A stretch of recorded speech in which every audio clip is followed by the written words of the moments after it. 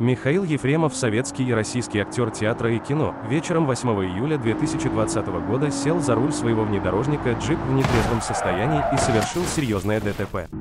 Водитель «Лады Гранты» был госпитализирован, но на следующий день он скончался. Точно никто не умер. Точно никто не умер. Пока нет. Последние три года Михаил сидит в тюрьме, где очень ухудшилось его здоровье.